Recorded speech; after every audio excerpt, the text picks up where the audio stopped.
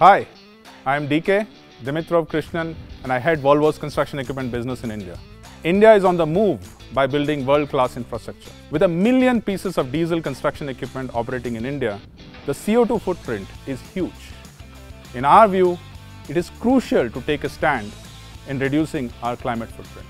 From renewable biofuels to battery electric machines, at Volvo, we are committed towards building the India we want to live in. With nearly 190 years of innovative solutions, we are at the forefront in the journey to a greener future. Volvo Construction Equipment in India for the past 25 years has pushed the boundaries of fuel efficiency in construction equipment. And now it is more important than ever to construct today for a sustainable tomorrow. Decarbonization does not happen in a day. So we are leading the way with our wide range of electric machines built in India for India. Since the introduction of diesel machines, electric machines would be the newest revolution in the industry. And it is time for us to rewire our thinking regarding construction equipment and get ready for the transition, for the change is here.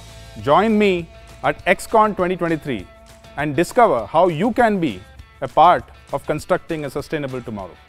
For the change cannot happen without you.